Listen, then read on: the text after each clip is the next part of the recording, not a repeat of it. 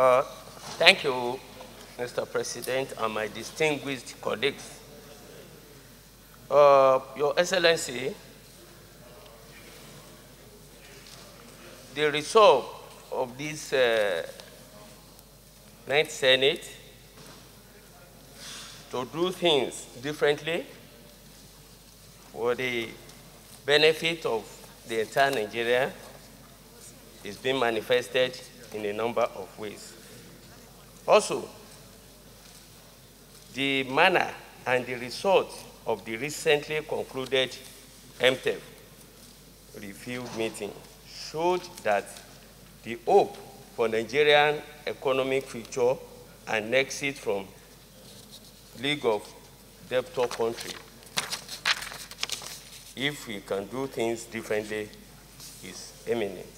Mr. President, it is obvious that budget and its implementation is one of the strongest instruments that can be used to overcome the complex and hydra-headed challenges and problems confronting this country.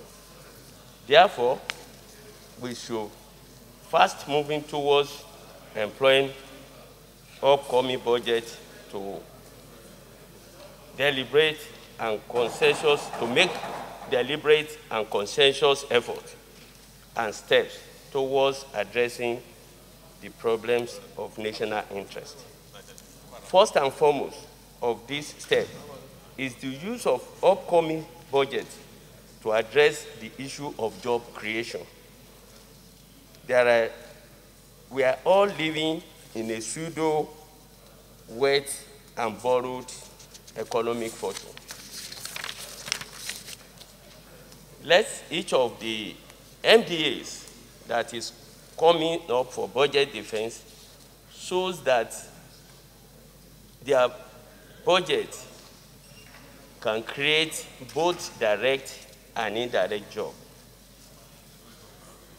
That is, the, that is establishment can generate or support in terms of the upcoming budget.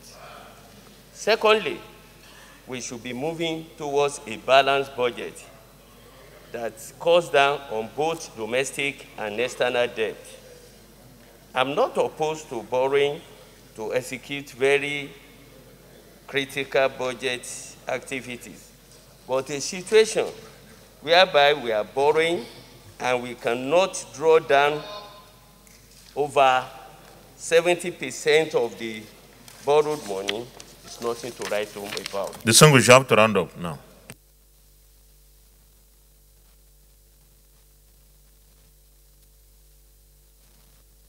Take audit of the previous, previous borrowings and to make sure that the upcoming ones are, are being supported with evidence of capacity to draw down.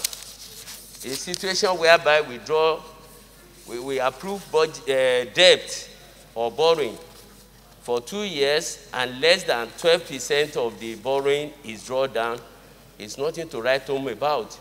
The whole country will be crying that we are borrowing, we are borrowing. Yet, the bulk of this money is not drawn down and the country is going to pay uh, what we call uh, uh, Uh, Distinguished, you have to, you have to conclude now.